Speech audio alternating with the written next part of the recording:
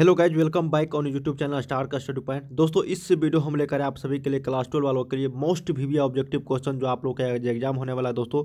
इस वीडियो से काफ़ी सारे क्वेश्चन आप लोगों को मिल सकते हैं। इस वीडियो को लास्ट तक ज़रूर देखेगा दोस्तों, अगर आप भी आज एग्ज़ाम देने वाले हैं फिक्स भौतिक विज्ञान का, ठीक है?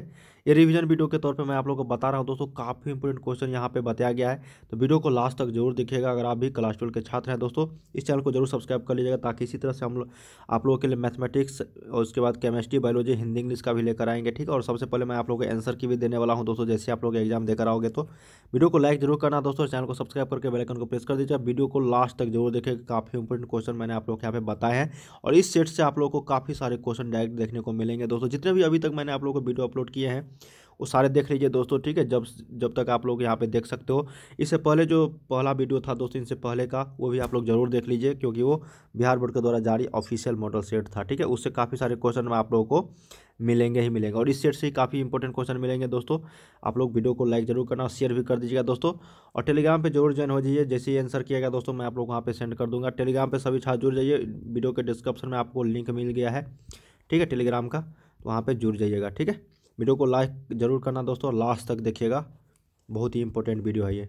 यहाँ पे क्वेश्चन नंबर वन करा है कि किसी आवेशित खोखले गोले के अंदर विद्युत क्षेत्र होता है। The electric field inside a charge hollow sphere तो चार्ज हॉलो स्पेयर के अंदर दोस्तों कोई चार्ज नहीं रहता है, ठीक है? चार्ज इसके चार्ज जो भी रहता है, वो सरफेस के ऊपर आ जाता है। और अंदर नहीं चार्ज होने के कारण कोई इलेक्ट्रिक फ़ील्ड नहीं होता है। तो यहाँ पे जो है इलेक्ट्रिक फ़ील्ड का मान हो जाएगा शून्य। तो एक का जो है सही आंसर होगा यहाँ पर बी अगला क्वेश्चन देखते हैं। अगला क्वेश्चन है कि वन वोल्ट से आवेशित वन माइक्रोफेराड धारिता वाले संधारित्र पर कुल आवेश होगा। तो यहाँ पे दोस्तों चार्ज का मान पूछ रहा है, उसका जो है कैपेसिटर का जो है कैपेसिटेंस दे दिया है और वोल्ट भी वोल्ट का मान जो दे दिया है, वन वोल्ट तो इसका सिंपल फार्मूला होता है दोस्तों चार्ज निकालने का क्यू इजकल टू सी भी ठीक है? और सी जो है दिया है वन माइक्रोफेराड और पोटेंशियल दिया है वन वोल्ट तो यहाँ से जो है चार्ज का वैल्यू निकल जाएगा वन माइक्रो कुलम। तो दो का जो है सही आंसर होगा यहाँ पर बी वन माइक्रो कुलम अगला क्वेश्चन देखते हैं।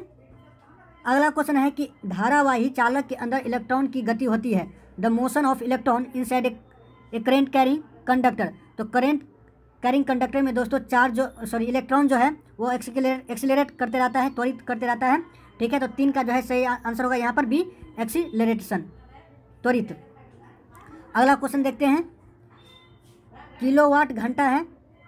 किलोवाट घंटा मात्रक है, kilowatt kilowatt hour unit is unit of. तो किलोवाट घंटा दोस्तों किसका यूनिट है? ये है इलेक्ट्रिकल एनर्जी का यूनिट है। ठीक है तो चार्ज का जो है सही आंसर होगा यहाँ पर बी, इलेक्ट्रिकल एनर्जी। तो इलेक्ट्रिकल एनर्जी जितना कंज्यूम होता है दोस्तों, वो सारे के सारे जो है किलोवाट घंटा में जो है हम लोग इसको जो है व्यक्त करते हैं। तो चार का सही आंसर होगा बी। अगला क्वेश्चन देखते हैं। अगला क्वेश्चन है कि लेंज का नियम किस संरक्षण सिद्धांत से संबंधित है। Lenz law is associated with the principle of conservation of किसका दोस्तों? तो वो जो है लेंज का लॉ जो है एनर्जी के कंजर्वेशन पर आधारित है। तो पाँच का जो है सही आंसर होगा यहाँ पर। सी एनर्जी अगला क्वेश्चन देखते हैं। अगला क्वेश्चन है कि मुक्त आकाश का पारावारिता का, का मान होता है। The permittivity of the free space तो फ्री स्पेस के परमिटिविटी का वैल्यू होता है दोस्तों जिसको हम एप्सिलॉन नोट से सूचित करते हैं। तो उसका वैल्यू होता है eight point eight five into ten के power minus twelve farad per metre तो सिक्स का सही आंसर होगा यहाँ पर सी अगला क्वेश्चन देखते हैं। अगला क्वेश्चन है कि फिफ्टीन माइक्रोफेराड धारिता वाले एक संधारित्र टेन वोल्ट विभव तक आवेशित किया जाता है तो संधारित्र की ऊर्जा होगी। तो दोस्तों, इसका जो है पोटेंशियल एनर्जी एनर्जी बताना है कि उस कैपेसिटर में कितना एनर्जी है, ठीक है? तो एनर्जी का फॉर्मूला आपको मालूम है दोस्तों, जैसे कि is E equal to half C V square, ठीक है? तो हाफ़ और सी का वैल्यू देखिए दोस्तों, कितना दे दिया है? फिफ्टीन माइक्रो फैराड ठीक है? और भी स्क्वायर यानी कि टेन का स्क्वायर कर देंगे तो यहाँ पर हंड्रेड हो जाएगा, ठीक है? अब यहाँ से कैलकुलेशन करेंगे दोस्तों, और माइक्रो फेराड है तो आप इनको लिख सकते हैं टेन के पावर माइनस सिक्स यानी इनको काट देंगे, मान के चलिए इसको लिखते हैं फिफ्टी बाई टू ठीक? और ये जो है टेन के पावर माइनस सिक्स और ये टेन के पावर इसको टू लिख सकते हैं तो यहाँ से दोस्तों आप देख देख सकते हैं। ये आ गया आपके पास एनर्जी का formula five by two into ten के पावर माइनस सिक्स और ये टेन के पावर जो है थ्री हो जाएगा, ठीक है? तो यहाँ से आप देख देख सकते हैं, two point five into ten के पावर माइनस थ्री, जो जो है इसका सही आंसर होगा। तो सात का जो सही आंसर होगा यहाँ पर बी। अगला क्वेश्चन देखते हैं। अगला क्वेश्चन है तो अगला क्वेश्चन है दोस्तों कि वांडी ग्राफ जनरेटर एक मशीन है जिसके द्वारा उत्पन्न होता है। Van de Graaff generator is a machine which is which generates तो देखिए दोस्तों, ये जो वांडी ग्राफ जनरेटर है, ये जो है हाई करंट और हाई वोल्टेज दोनों को जनरेट करता है। तो आठ का जो है सही आंसर होगा यहाँ पर। सी उच्च धारा एवं उच्च वोल्टता दोनों। अगला क्वेश्चन देखते हैं। अगला क्वेश्चन है कि एक तार में वन एम्पियर की धारा प्रवाहित हो रही है। यदि इलेक्ट्रॉन का आवेश जो है one point six into ten के पावर माइनस नाइनटीन कुलम हो तो तार के किसी काट से प्रति सेकेंड प्रवाहित इलेक्ट्रॉन की संख्या कितनी होगी? तो यहाँ पे दोस्तों आपको बताना है इलेक्ट्रॉन की संख्या, ठीक है? तो देखिए चार्ज का सबसे पहले फार्मूला लिख लेते हैं Q equal to I T होता है फार्मूला। और टाइम दे दिया है पर सेकेंड, यानी एक सेकेंड में निकालना है। और क्यू का एक फार्मूला, एक भी ए भी होता है दोस्तों एन ई एन जो है नंबर ऑफ़ चार्ज है और ई जो है, इसका जो है चार्ज है। तो यहाँ से अगर इसका नंबर ऑफ़ इलेक्ट्रॉन लिखेंगे तो आई टी बट्टे हो जाएगा ई ई जो है इलेक्ट्रॉन का चार्ज है। आई का मान कितना दिया है दोस्तों? वन एम्पियर दिया है। टाइम दिया है वन सेकेंड में निकालना है। और ई का जो है चार्ज कितना दिया है? चार्ज का वैल्यू दिया है one point six into ten के पावर माइनस नाइनटीन तो आप इसका कैलकुलेशन करेंगे दोस्तों तो आपके पास आंसर आ जाएगा। Six point two five into ten के पावर माइनस एटीन तो नाइन का जो है सही आंसर होगा यहाँ पर बी अगला क्वेश्चन देखते हैं। अगला क्वेश्चन है कि डैनमो के कार्य का सिद्धांत आधारित है। The working principle of dynamo depends तो डैनमो का जो है वर्किंग प्रिंसिपल है दोस्तों, वो इलेक्ट्रोमैग्नेटिक इंडक्शन पर आधारित है। तो दस का जो है सही आंसर होगा यहाँ पर बी तो इलेक्ट्रोमैग्नेटिक इंडक्शन जो है, इसका जो है खोज किया था दोस्तों फराडे ने। फराडे नामक साइंटिस्ट ने जो है विद्युतीय चुंबकीय प्रेरणा का खोज किया था। तो टेन का सही आंसर होगा यहाँ पर बी अगला क्वेश्चन देखते हैं। अगला क्वेश्चन है कि sixty four identical drops each of the capacity five microfarad combined to form a big drop the capacity of big drop will be तो यहाँ पे दोस्तों बड़ी बूंद का जो है कैपेसिटेंस को बताना है। आप लोगों को फॉर्मूला बताए थे दोस्तों कि इसका होता है C B by C S is equal to N के पावर वन बाई थ्री यानी कि एन का जो है जो भी नंबर दिया है उसका घनमूल निकाल लेंगे। सी बी जो है कैपेसिटेंस ऑफ़ बिग ड्रॉप है और सी एस जो है कैपेसिटेंस ऑफ़ स्मॉल ड्रॉप तो आपको यहाँ पर सी एस निकालना है सी बी निकालना है सॉरी तो सी बी निकालना है और सी एस का वैल्यू कितना दिया है दोस्तों? सी एस यानी स्मॉल कैपेसिटेंस दिया है फाइव माइक्रो फेराड और एन का वैल्यू दिया है सिक्सटी फोर और इसका घनमूल निकालेंगे दोस्तों तो फाइव इंटू आ जाएगा फोर। ठीक है तो यहाँ से हो जाएगा ट्वेंटी माइक्रोफेराड इसका आंसर हो जाएगा बड़े कैपेसिटेंस का, बड़े बूंद का कैपेसिटेंस। तो ग्यारह का जो है सही आंसर होगा यहाँ पर सी, ट्वेंटी माइक्रोफेराड। अगला क्वेश्चन देखते हैं। अगला क्वेश्चन है कि प्रकाश के एक माध्यम से दूसरे माध्यम में प्रवेश करने पर अचर आता है। When light interest from one medium to another the quantity which remains constant देखिए दोस्तों जब प्रकाश जो है एक माध्यम से दूसरे माध्यम में जाता है तो उसका जो फ्रीक्वेंसी होता है आवृत्ति जो है वह कांस्टेंट रहता है। ये चेंज नहीं होता है बाकी सभी चेंज हो, जाता है लेकिन फ्रीक्वेंसी चेंज नहीं होता है। तो ट्वेल्व का जो है सही आंसर होगा यहाँ पर ए फ्रीक्वेंसी अगला क्वेश्चन देखते हैं। अगला क्वेश्चन दोस्तों कि फाइव ओम प्रतिरोध के एक तार से जिसका विभांतर जो है सेवन वोल्ट है तो ट्वेंटी मीटर तक धारा प्रवाहित होती है तो उत्पन्न उष्मा होगी। तो यहाँ पे दोस्तों आपको क्या निकालना है? हीट कितना प्रोड्यूस होगा? तो वो हीट को निकालना है, ठीक है? तो एच का फॉर्मूला होता है दोस्तों, ये फॉर्मूला आप याद रखिएगा।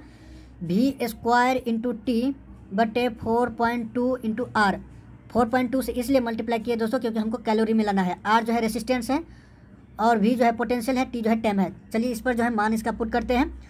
वोल्ट है तो सात, जो है सात का स्क्वायर करेंगे तो फोर्टी नाइन आ जाएगा ये। टाइम है ट्वेंटी मिनट है तो इसको सेकेंड में लिखेंगे तो साठ से जो है गुना कर देंगे इसमें। फोर पॉइंट टू हो गया, और रेसिस्टेंट कितना दिया है दोस्तों, वो दिया है फाइव ओम, ठीक है? यहाँ से दस लोग उड़ाएँगे तो ये टेन ऊपर आ जाएगा, ठीक है? तो यहाँ से हो जाएगा सेवन या सेवन फोर्टी नाइन, और यहाँ से ये हो जाएगा सिक्स से कट जाएगा ये।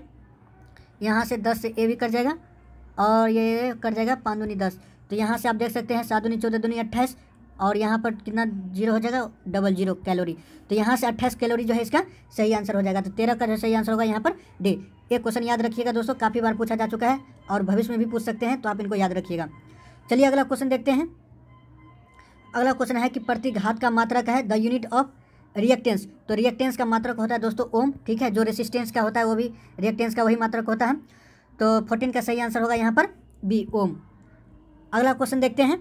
अगला क्वेश्चन है कि यौगिक सूक्ष्मदर्शी की लंबाई बढ़ाने पर इसकी आवर्धन क्षमता on increasing the length of the tube of compound microscope its magnifying magnifying power देखिए दोस्तों, जब कंपाउंड माइक्रोस्कोप को अगर लेंथ बढ़ाते हैं तो उसका मैग्नीफाइंग पावर जो होता है, आवर्धन क्षमता जो है, वो इंक्रीज कर जाता है, बढ़ जाती है। तो फिफ्टीन का जो है, सही आंसर होगा, यहाँ पर भी बढ़ती है इंक्रीज कर जाती है। चलिए अगला क्वेश्चन देखते हैं। देखिए दोस्तों, आप वीडियो को स्किप नहीं कीजिएगा, काफ़ी इंपॉर्टेंट क्वेश्चन है इसमें। चलिए, अगला क्वेश्चन है कि एक प्रिज्म से गुजरती प्रकाश की किरण के लिए आपतन कोण आई वन है तथा निर्गत कोण आई टू है? तो किरण में न्यूनतम विचलन की स्थिति में होगा। देखिए दोस्तों, यहाँ पर मिनिमम डेविएशन के लिए क्या, कौन सा केस लागू होगा? मिनिमम डेविएशन के लिए जो है, आवर्तन कोण आपतन कोण का मान जो है, वो बड़ा होना चाहिए किससे? निर्गत यानी परिवर्तन कोण से? ठीक है? इमरजेंस एंगल से बड़ा होना चाहिए आई वन का वैल्यू तो ये बड़ा होगा I one is greater than I two तो सोलह का जो है, सही आंसर होगा यहाँ पर B I one greater than I two चलिए अगला क्वेश्चन देखते हैं। अगला क्वेश्चन है कि दार्शनिक संख्या जो है पच्चीस को द्विधारी में लिखने पर उत्तर होगा। The demission number of decimal number twenty five in binary will be तो देखिए दोस्तों, इसको बाइनरी नंबर में कन्वर्ट करना है ट्वेंटी फाइव को। तो देखिए, इसका सिंपल है, आपको बता देते हैं। दो से जो है, इसमें डिवाइड करेंगे तो कितना से कटेगा? ट्वेल्व से। ठीक है? ट्वेल्व से कटेगा तो ये चौबीस हो जाएगा। और पच्चीस में से चौबीस जाएगा तो एक शेष बचेगा तो एक शेष यहाँ पर लिखेंगे। फिर ये कितना से कैंसिल होगा दोस्तों? सिक्स से लगेगा इसमें, ठीक है? और कोई शेष नहीं बचेगा तो यहाँ पर शेष हो गया ज़ीरो। फिर यहाँ पर जो है तीन से लगेगा, फिर भी कोई शेष नहीं बचेगा तो यहाँ पर होगा ज़ीरो। फिर एक से लग जाएगा और एक शेष भी बच जाएगा। तो इस तरह से आप देख सकते हैं, फिर नीचे से ऊपर जाएँगे तो ये बैनरी नंबर होगा। तो one one double zero one और जो इसका हॉल टू कर देंगे, ये जो है इसका बैनरी नंबर हो गया। तो सेवनटीन का जो है सही आंसर होगा यहाँ पर बी अगला क्वेश्चन देखते हैं।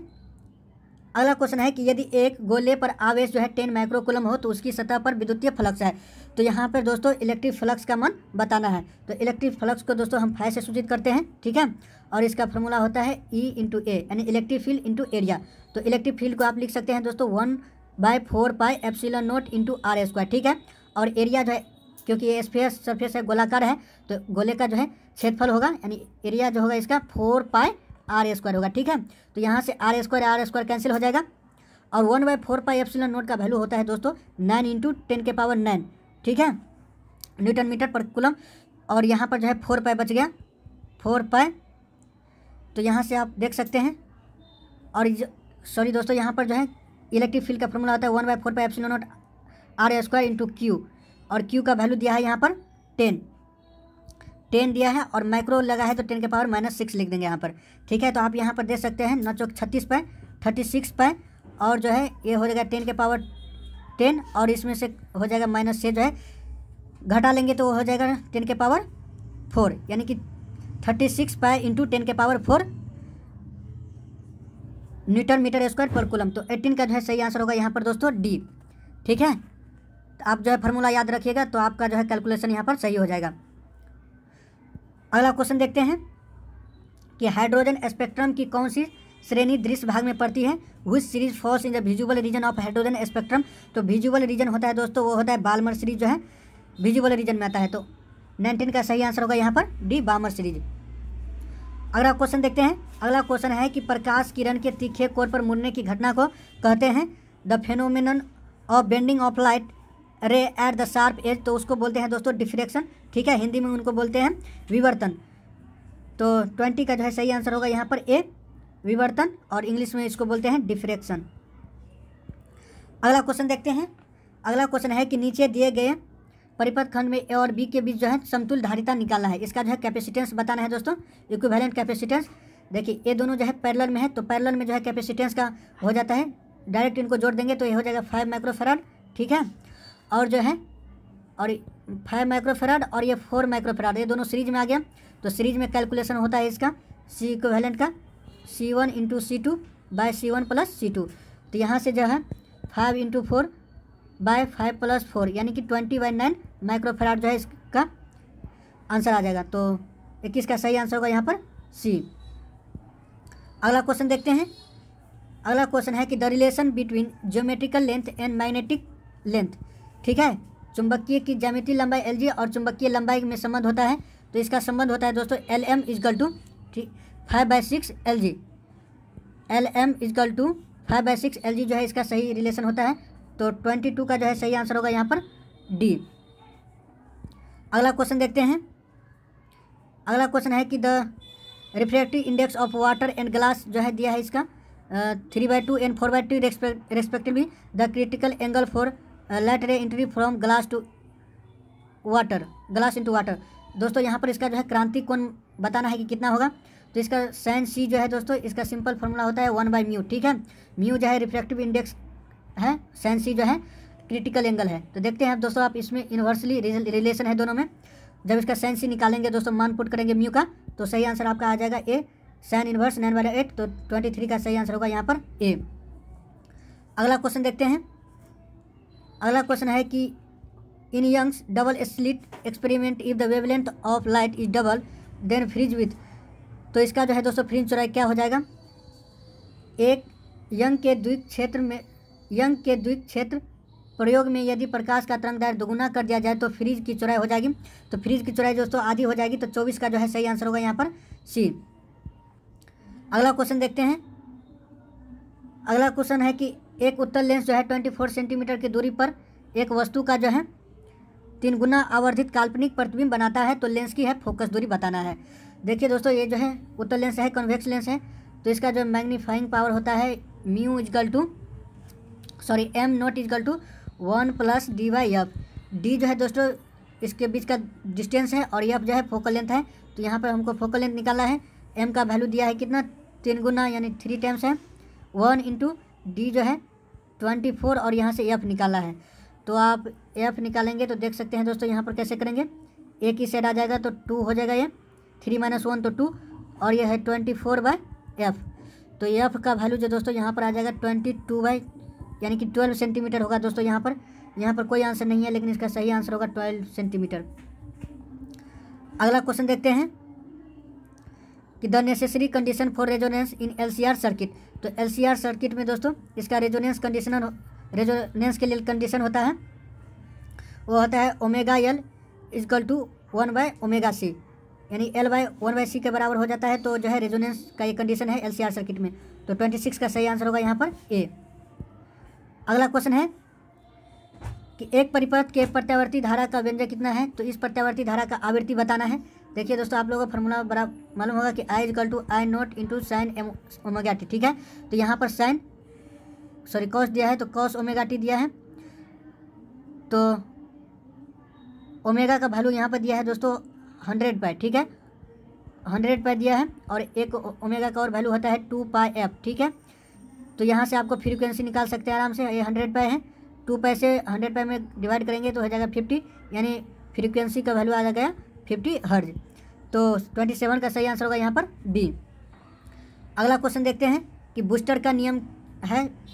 तो बूस्टर का नियम है दोस्तों, mu equal to ten I P. ठीक है, आई जो है, एंगल ऑफ़ पोलराइजेशन है और म्यू जो है, इसका जो है रिफ्लेक्टिव इंडेक्स है। तो ट्वेंटी एट का सही आंसर होगा यहाँ पर C mu equal to ten I P.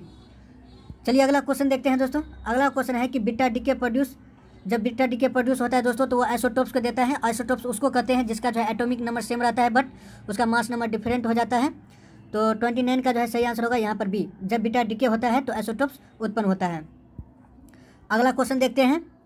अगला क्वेश्चन है कि विच ऑफ़ द फॉलोइंग आया द शॉर्टेस्ट वेवलेंथ देखिए दोस्तों, जिसका एनर्जी हाई होगा, उसका वेवलेंथ जो होगा बहुत ही कम होगा। तो इस सभी में जो है गामा रे का जो है एनर्जी सबसे हाई होता है, इसलिए इसका जो वेवलेंथ जो होगा सबसे कम होगा। तो तीस का जो है सही आंसर होगा यहाँ पर सी, गामा रे।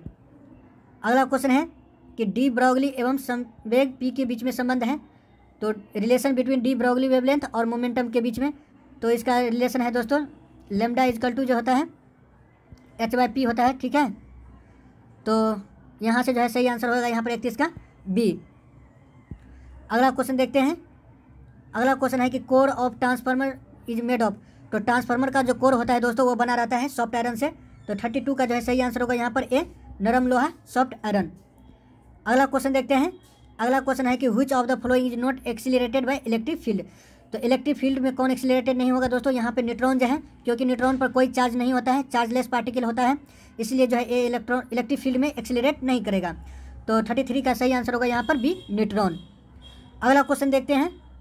अगला क्वेश्चन है कि दो परमाणुओं की परमाणु परमाणु संख्या का अनुपात इतना है तो उनकी त्रिज्या का अनुपात होगा। यहाँ पे दोस्तों परमाणु संख्या नहीं होना, यहाँ पर होना चाहिए एटॉमिक मास यानी परमाणु द्रव्यमान होना चाहिए दोस्तों। तो इसका रेडियस का ये जो है आर डायरेक्टली प्रोपोर्शनल होता है जेड के पावर का ए के पावर का वन बाय थ्री यानी कि इसके एटॉमिक मास का जो है वन बाय थ्री होता है। तो यहाँ पर जो है एटॉमिक मास होगा दोस्तों मास होगा तो यहाँ से जो है इसका त्रिज्या का वैल्यू आ जाएगा वन बाय थ्री तो ट्वेंटी फोर का जो है सही answer thirty three thirty four का जो है सही आंसर हो जाएगा ए वन अनुपात थ्री अगला क्वेश्चन देखते हैं। अगला क्वेश्चन है कि frequency range for ground wave should be तो फ्रीक्वेंसी रेंज जो होना चाहिए दोस्तों, वो होना चाहिए मोर देन टेन के पावर फोर टेन के पावर माइनस टेन के पावर फाइव मेगा हर्ज तो थर्टी फाइव का सही आंसर होगा यहाँ पर सी अगला क्वेश्चन है कि एक समान विद्युतीय क्षेत्र ई में द्विध्रुव ई की दिशा से थीटा विक्षेपण में किया गया कार्य होता है। ठीक है तो यहाँ पर दोस्तों वर्क डन बताना है तो वर्क डन का सिंपल फॉर्मूला होता है P E into one minus cos theta तो थर्टी सिक्स का सही आंसर होगा यहाँ पर ए अगला क्वेश्चन देखते हैं कि एन टैप के अर्चालक में मुख्य धारा का वाहक होता है। The majority current carrier in N type semiconductor तो एन टैप में दोस्तों इलेक्ट्रॉन जो है ज़्यादा मात्रा में होता है, ठीक है? वही जो है करेंट कैरियर के लिए रिस्पॉन्सिबल होता है। तो थर्टी सेवन का सही आंसर होगा यहाँ पर सी इलेक्ट्रॉन अगला क्वेश्चन देखते हैं। अगला क्वेश्चन है कि विच ऑफ़ द फॉलोइंग है द मैक्सिमम पेनेट्रेटिंग पावर निम्नलिखित में से किसकी वेधन क्षमता महत्तम होती है? तो वेधन क्षमता बताए थे दोस्तों कि गामा रे का जो है वेधन क्षमता सबसे हाई होता है। ठीक है? तो थर्टी एट का जो है, सही आंसर होगा यहाँ पर डी गामा रे। अगला क्वेश्चन देखते हैं। अगला क्वेश्चन है कि ए न्यूक्लियस ऑफ़ एलिमेंट इसका जो है एटॉमिक मास दे दिया है और एटॉमिक नंबर दे दिया है। फ़र्स्ट जो है इमिट करता है alpha particle then beta particle तो atomic number of result number of resultant nucleus देखिए दोस्तों, जब अल्फ़ा पार्टिकल निकलता है तो मास नंबर चार से घट जाता है और एटॉमिक नंबर जो है दो से कम हो जाता है और बीटा डी अगर होता है, अगर बीटा रे निकलता है तो एटॉमिक नंबर जो है एक से बढ़ जाता है, ठीक है? तो अल्फ़ा, सबसे पहले यहाँ पर देख तो यहाँ पे आपको बताना है दोस्तों, केवल एटॉमिक नंबर में क्या चेंज हुआ, ठीक है? तो अल्फ़ा से जो है, अल्फ़ा किरण निकलता है तो एटॉमिक नंबर दो से कम हो जाता है, ठीक है? यानी जो दिया है तो यहाँ पर एटॉमिक नंबर दिया है चौरासी, इसमें से जो है दो घटेगा। और जो कहता है कि एक बीटा भी निकलता है तो बीटा निकलने पर जो है एक बढ़ जाता है, ठीक है? एक बार जाता है तो यहाँ से जो हो गया आपके पास आंसर हो जाएगा एटी थ्री यानी जो नया न्यूक्लियस बनेगा तो उसका एटॉमिक होगा एटॉमिक नंबर होगा एटी थ्री तो थर्टी नाइन का सही आंसर होगा यहाँ पर बी अगला क्वेश्चन देखते हैं। अगला क्वेश्चन है कि in full wave rectification if input frequency जो है फिफ्टी हर्ज है देन आउटपुट फ्रीक्वेंसी तो आउटपुट फ्रीक्वेंसी जो होगा दोस्तों इनपुट का डबल हो जाएगा फुल वेव रेक्टिफिकेशन में। तो यहाँ से जो है सही आंसर हो जाएगा फोर्टी का सी हंड्रेड हर्ज अगला क्वेश्चन देखते हैं। अगला क्वेश्चन है कि किसी पर, किसी परिपथ का प्रतिरोध प्रतिरोध जो है ट्वेल्व ओम तथा प्रतिबाधा जो है फिफ्टीन ओम है तो प्रति, परिपथ का जो है, शक्ति गुणांक होगा। तो यहाँ पर दोस्तों सर्किट का जो है पावर फैक्टर बताना है तो पावर फैक्टर फार्मूला होता है दोस्तों आर बाई जेड तो आर दिया है आपके पास ट्वेल्व और जेड दिया है यहाँ पर फिफ्टीन तो यहाँ से हो जाएगा फोर बाई फाइव यानी कि पॉइंट एट तो इकतालीस का जो है सही आंसर होगा यहाँ पर बी अगला क्वेश्चन देखते हैं कि प्रकाश तरंगों के संरक्षण में दोलन तल की दिशा तथा ध्रुवन तल की दिशा के बीच का कोण होता है। तो इन दोनों का बीच का कोण का मान होता है दोस्तों पाई बाई टू, यानी कि नाइन्टी डिग्री। तो फोर्टी टू का जो है सही आंसर होगा यहाँ पर बी नाइन्टी डिग्री। तो उम्मीद करता हूँ दोस्तों आपको वीडियो पसंद आया होगा। अगर वीडियो पसंद आया है तो वीडियो को लाइक कीजिए, चैनल को सब्सक्राइब कर दीजिए। यहाँ तक देखने के लिए धन्यवाद।